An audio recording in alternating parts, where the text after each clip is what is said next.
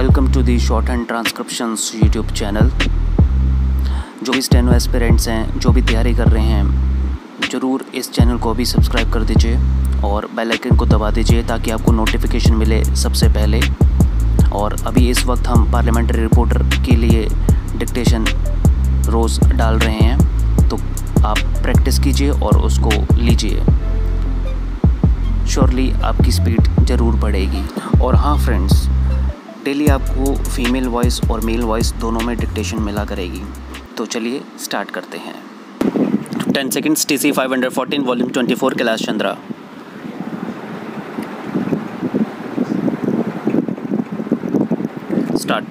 Mr. Deputy Chairman, sir, in pursuance of the government's policy to secure the active cooperation and invol- involvement of all democratic, secular, and progressive forces in the country, it was considered desirable to have a dialogue with Sheikh Mohammed Abdullah.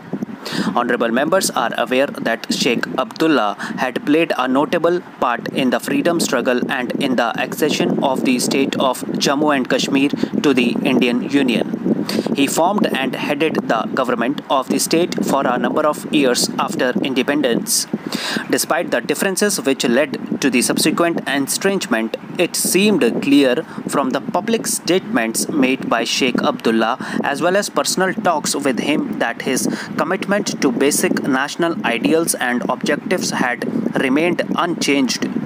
He reaffirmed that the accession of the state to the Indian Union was final and irrevocable. His main area of concern was about the legal and constitutional changes made after August 1953. It was decided that Mirza Afzal Beg, whom Sheikh Abdullah named for the purpose, and Shri G. Parthasarthi, whom I entrusted with the task should examine these changes in depth and make appropriate recommendations. After extensive discussions, they reached agreement on various points which are incorporated in the agreed conclusions, a copy of which is placed on the table of the House. These conclusions formed the subject matter of further discussions at a political level in which Sheikh Abdullah and the Chief Minister of the state and Sardar Swaran Singh participated. As a result of these, an understanding has been reached as disclosed in the letters exchanged between me and Sheikh Abdullah, copies of which are placed on the table of the House. I shall refer to certain basic features of the understandings. The agreed conclusions have been formulated within the framework of the Constitution of India. The constitutional relationship between the state of Jammu and Kashmir and the Union will continue as it has been. The extension of further provisions of the Constitution to the state will continue to be governed by the procedure prescribed in Article 370. There will be no weakening of the ties which exist between the Union of India and its constituent units, of which the state of Jammu and Kashmir is one. The ex- existing jurisdiction of the center to ideal which activities directed towards questioning or disrupting the sovereignty and territorial integrity of India or bringing about succession and of any part of the territory of India from the Union will also continue. It has also been agreed that any amendment of the Constitution of the state on certain specified matters of importance will not become effective unless the assent of the President is obtained. The agreed conclusions seek to reassure the state that in case the state government comes up with any proposal to change any central law made after 1953 or matters in the concurrent list such as social welfare measures cultural matters social security procedural laws and the like. The grant of assent to the bill will be sympathetically considered a proposal was made by Mirza Afzal Beg that the jurisdiction of the Supreme Court in relation to the state should be curtailed.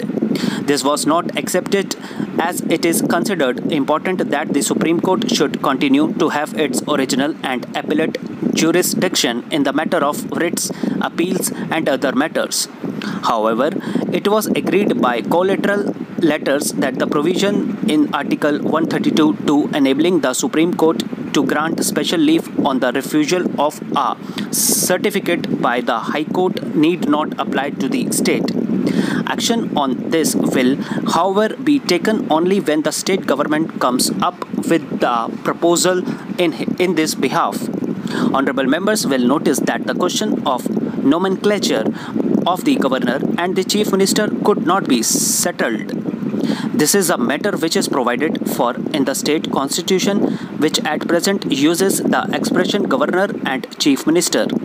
A change in the nomenclature can be made only by amendment of the state constitution by the state legislature.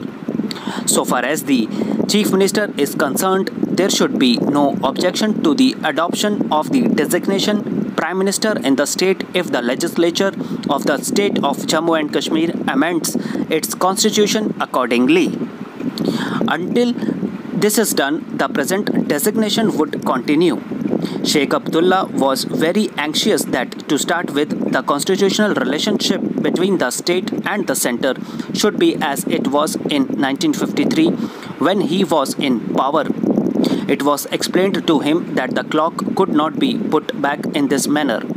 Mirza Afzal Beg pressed for the transfer of provisions relating to fundamental rights to the state constitution, the removal of the supervision and control of the Election Commission of India over elections to the state legislature and the jurisdiction of the Supreme Court over all subjects in the state list. Ready? 10 seconds. TC 514, Volume 24, Kailash Chandra. Start. Mr. Deputy Chairman Sir, in pursuance of the government's policy to secure the active cooperation and involvement of all democratic, secular and progressive forces in the country, it was considered desirable to have a dialogue with Sheikh Mohammed Abdullah. Honorable members are aware that Sheikh Abdullah had played a notable part in the freedom struggle and in the accession of the state of Jammu and Kashmir to the Indian Union. He formed and headed the government of the state for a number of years after independence. Despite the difference which led to the subsequent estrangements, it seemed clear from the public statements made by Sheikh Abdullah as well as personal talks with him that his commitment to basic national ideals and objectives had remained unchanged. He reaffirmed that the accession of the state to the Indian Union was final and irrevocable. His main area of concern was about the legal and constitutional changes made after August 1953. It was decided that Mirza Afzal Beg whom Sheikh Abdullah named for the purpose and Shri G. Parthasarthi whom I entrusted with the task should examine these changes in depth and make appropriate recommendations. After extensive discussions, they reached agreement on various points which are incorporated in the agreed conclusions, a copy of which is placed on the table of the House. These conclusions formed the subject matter of further discussions at a political level in which Sheikh Abdullah and the Chief Minister of the state and Sardar Swaran Singh participated. As a result of these, an understanding has been reached as disclosed in the letters exchanged between me and Sheikh Abdullah, copies of which are placed on the table of the House. I shall refer to certain basic features of the understanding. The agreed conclusions have been formulated within the framework of the Constitution of India. The constitutional relationship between the state of Jammu and Kashmir and the Union will continue as it has been and the extension of further provisions of the Constitution to the state will continue to be governed by the procedure prescribed in Article 3, there will be no weakening of the ties which exist between the Union of India and its constituent units of which the state of Jammu and Kashmir is one. The existing jurisdiction of the center to deal with activities directed towards questioning or disrupting the sovereignty and territorial integrity of India or bringing about secession of any part of the territory of India from the Union will also continue. It has also been agreed that any amendment of the constitution of the state on certain specified matters of importance will not become effective unless the assent of the president is obtained. The agreed conclusions seeks to reassure the state that in case the state government comes up with any proposal to change any central law made after 1953 on matters in the concurrent list such as social welfare measures, cultural matters, social security, procedural laws and the like, the grant of assent to the bill will be sympathetically considered. A proposal was made by Mirza Afzal Beg that the jurisdiction of the Supreme Court in relation to the state should be curtailed. This was not accepted as it is considered important that the Supreme Court should continue to have its original and appellate jurisdiction in the matter of writs, appeals and other matters.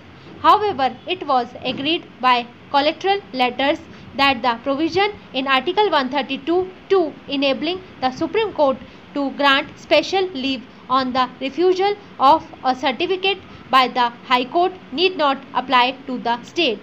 Action on this will however be taken only when the state government comes up with a proposal in this behalf.